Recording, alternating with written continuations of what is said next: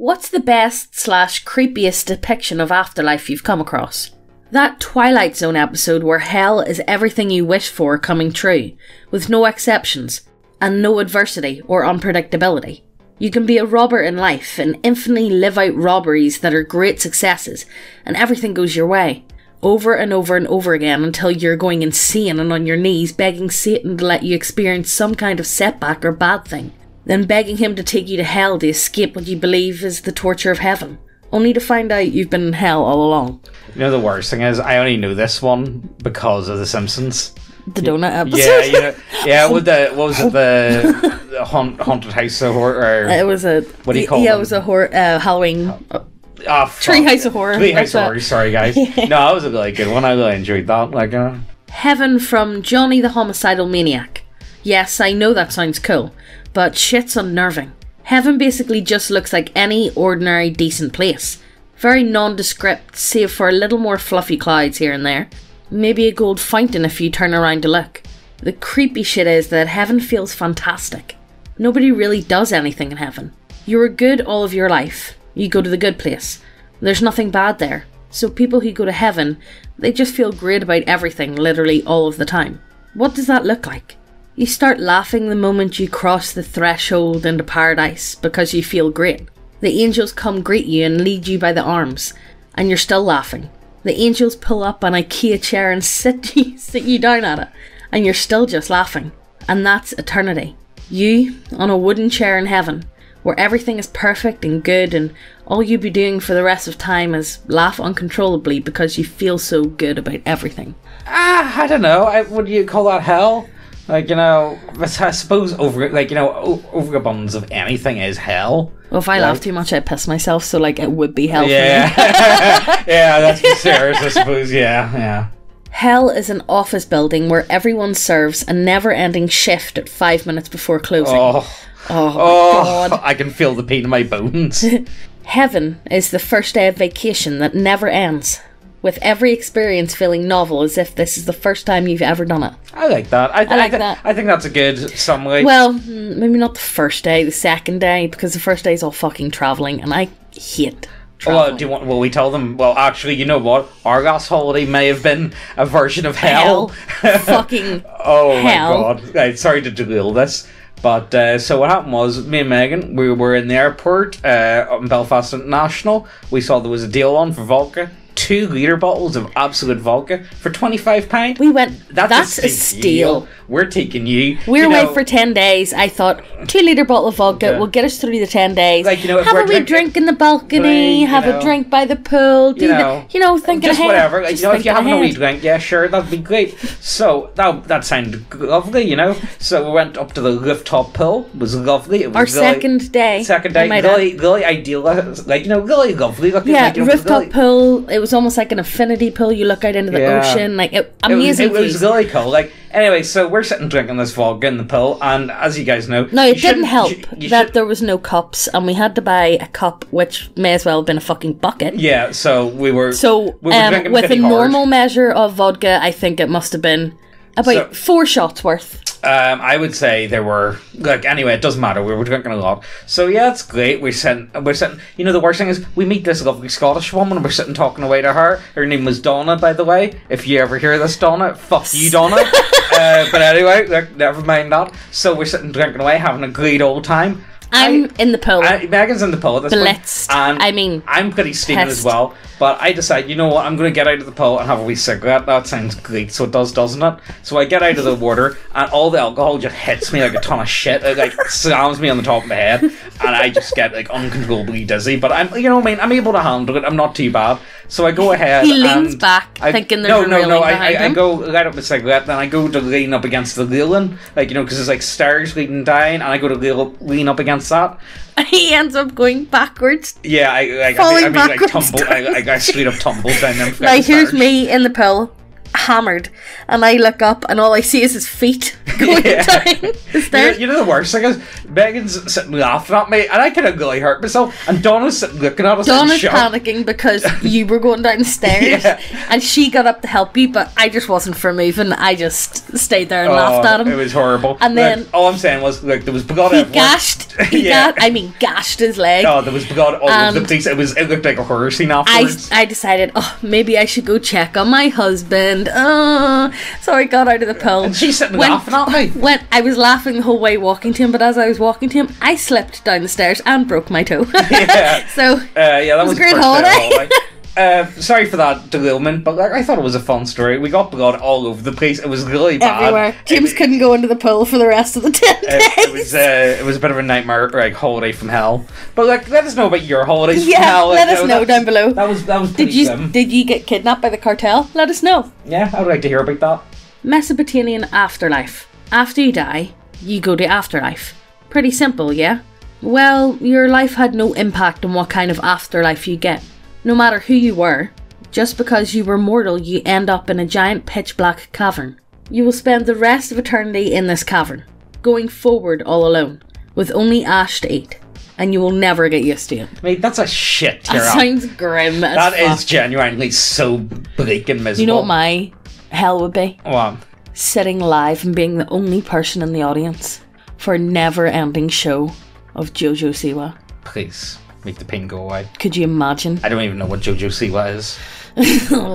I'm going to assume. I'm, I'm going to assume it's bad. What is it? It's a she's a YouTuber. Hey guys, this is just a quick bit of promo. We got our website up and running and we have a massive restock on most of the models.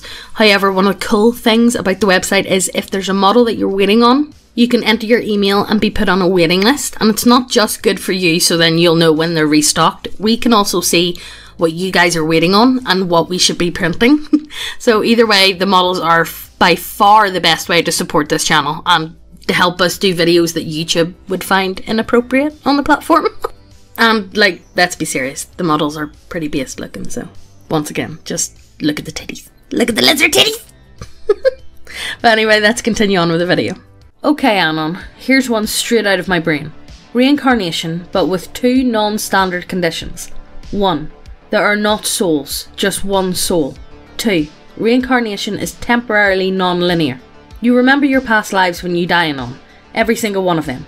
Calling it a lethal dose of perspective is a nice euphemism for remembering everything you ever experienced, every life you lived, every single victim, every single monster, every single animal that starved to death or had its brain eaten by worms, and all the worms. So many worms. If you're lucky, you got to live when the soul was young and only experienced a small fragment of the totality, but that's still a massive, massive amount of lives. From every place and every time you can think of. It gets worse though, because you don't just remember your past lives, you remember your past lives remembering their past lives. With every life, death becomes a greater and greater fractal tapestry of memory. At the end of the soul's world line, the final incarnation, God will be born, and he will lay judgment on his experiences, his choice defining the completeness of all existence. I don't know, mate. I would just be begging for fucking dementia at this point. I'd be literally hammering People probably in- think you have dementia. Yeah. Well, that's yeah. Oh, mate. Oh my god. Oh my oh, God! No. What if, Whoa! what if that is to be? Whoa! No, this is too much for me. Next post. I can't do this. I can't do this. You become so powerful that you transcend space time and into the higher plane. And there you find nothing and nothing but solid floor of unknown, makes stretching for infinity. You're immortal here and have no need for food, water, or air if such a thing even exists here. There is no exit from this place. You tried for eons to find one. Somehow people enter this place whom you try to convince to take you out of this hell. However, they are either reluctant because they think you're trying to trick them, or they genuinely don't know how to get out either. Eventually, they disappear, while you're still talking to them, while you're still stuck here. Honestly, that's it. I, I think I've seen this as a Black Mirror episode.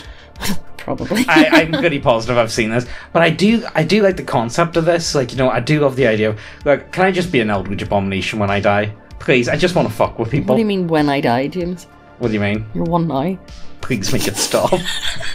No, I'm just a voice box on the internet. I'm actually not a real person. um, you know Megan here. Megan's not real either. No. we're both uh, figments of my imagination. I'm actually just a schizo that really do your voices, guys. That's actually the truth, guys. Like you know, there's a reason why we don't go on camera. I'm genuinely just a fucking schizo, and I can do really good voices and edit them together. And like you know, it's He's uh, a try. it's it's it's to try and like What are those? Trent, Trent, well, Trent, well, well, the whole reason the fellow the- with the fucking puppet. I can't Yeah. say it. No, no. The whole reason for this is to escape can my throw his voice. i- i- the whole the whole concept of this channel is for me to escape my ever present loneliness. Okay, I'll I'll get started on the screenplay, James. Like it's gonna be good. What What are you on about? I'm the, I'm gonna start the Oh, screenplay now. you, st- okay. oh shit! We got- we released it all. Okay, like there's just one person here. I'm sorry, guys. I lied. We're actually just like you know, or well, we say we're conjoined twins at this point. No, conjoined twins of the mind. oh my god. That's what we should. Yes. What Conjoined the twins fuck of the mind. did I marry into? Look, I don't know, guys. What do you think's a good depiction of hell? Next post, I guess. At this point, I don't know. Played a goblin shaman who believed all souls were the stone and metal of their god. When you die, you were thrown into the great crucible, an agonizing and hellish fire, and were forged over and over until their god decided you were scrap, eternal frozen void, or perfected, a state of perfection where you needed slash wanted nothing. I thought it was a neat concept for a neutral god. I like that. Yeah, I That's actually quite like cool. that. I would I would use that more for dwarves and stuff though. but I do love the concept. of the whole uh, forging yeah, I, stuff. I, I like that though. I, I, Yeah. I, I might actually use that. Oh, I'm so Nice. using this. Actually, no. The, I'm sorry, guys. This is getting stolen. Stole. this is getting stole. Joker's Quest The Black. The concept of the black is something that is hugely alienating and dehumanizing by its very nature. Always hungry, unable to eat, can never sleep, can't feel any sensation that's not purely informational, i.e., no warmth in a hug, just feeling contact. Pain will exist as long as you believe you're held to it. No way to heal, repair yourself, or receive succor besides killing other players. There are no real resources you can use besides those made from players, or that scavenge from one of the dead societies or cities that ended up in the black. At set intervals, the world explodes into endless flame and you are remade, whole again. But your mind, body, and soul move further and further away from humanity the more this happens. You cannot die from aging. There is only degeneration or survival. There's no escape. You know what that really makes me feel like? Fucking Parts of the Caribbean. Um, yeah. Don't, yeah, you get you get where I'm going with it. You kind of get the feel. You know what I mean? It's like living in a garbage dump where everyone is a cannibal. There are no human pleasures. People will shank you with knives made out of other people, and if you do survive, but you aren't killing enough other people, you'll start to lose your humanity. Ooh. That last part kind of reminds me of Fallout. Yeah. Well. Yeah. we got to be serious. Yeah, it's just Fallout. Yeah. Honestly, Fallout does seem like a hellish landscape, Oh, though. fuck I can that. like honestly, I can like see the idea of living without central heating. Nah, nah. Oh, never mind center heating for you, James. Wi-Fi, living Oh, Wi-Fi. oh, I'd be done for. Like honestly, it's Imagine just sitting down having a conversation with somebody. Oh my god, that sounds dreadful, Megan. Oh my, don't please don't go my. Oh. Oh, reminds me about this time. Oh oh god, the thought, the thought. It's just Garry's Mod on steroids. You don't have to eat, sleep, shit, or anything. You're a god of your own bubble in the multiverse. You're trapped. But you are almighty. You can create any map, limited to 16 square kilometers, but you can't create real people. Only pre scripted shitty NPCs you can command. There's only so much catboy pussy. I re- I'm really struggling to, fi- to figure out what that word was, and then I realised. That's probably a good thing that you don't. Oh, that that that that leads catboy pussy with no spaces. you know, I mean, like uh, that's probably a good thing, Megan. There's only so much catboy pussy and delicious vine you can taste until it all fades to bleak. At first, the novelty is overpowering. At last, the worst hell imaginable. Might take you 10 years to grow to hate it, might take you 20 millennia. But eternity is a bit longer than that. See, that's a problem with it. It's eternity. It's just Mm. No, eternity. it's, it's like, you this know, isn't just gonna last for like I was like, you know, I could do this for maybe like what a couple weeks, a month, a year. And it's like when people, oh, this will last the rest of your life, but it won't because you're not going to die. It's just going to keep going. That's the problem with eternity. Like, I think that's really the core concept. It's you have to have the same. Th- like, that's why, like, you know, what's what's that saying? Um, a utopia is almost always, by definition, a dystopia. Hmm. You know, even hell, hell, well, not hell, sorry, but heaven. Like a lot of these concepts are just hell turned upside down. Yeah. you know what I mean? It's like, oh no, it's going to be great, but you're going to get bored and you're going to feel empty and Yeah. miserable inside. And I think that's kind of what a lot of people are getting at. I think that's what people fear the most. yeah. You know, What about you guys? What do you think would be like? What would your eternal hell be? And I can't. You can't just say I, me IRL. Know what you boys are like. Let's be serious. But no, I think, as I say, the biggest problem is eternity. Mm-hmm. Like you know, no matter what, it's always going to be grim by the end of it. You know, Yeah. it's hard to think of. Another one of my hell would be being, Honestly- honestly, it being at like a rally, and it's just a sea of blue hair. oh, oh, oh, I couldn't. oh. But yeah, guys, let us know down below. It's always nice to hear what you Yeah. guys think. And look, as always, you Check know, out the links, check, out, the, models, go to the website and have a look, and hit subscribe and hit that notification bell while you're up there. like it really helps us out. You guys, like, you guys know what YouTube's like. For God's Yeah. sake, it does help us out a lot. Yeah, and we'll see you in the next video. Bye.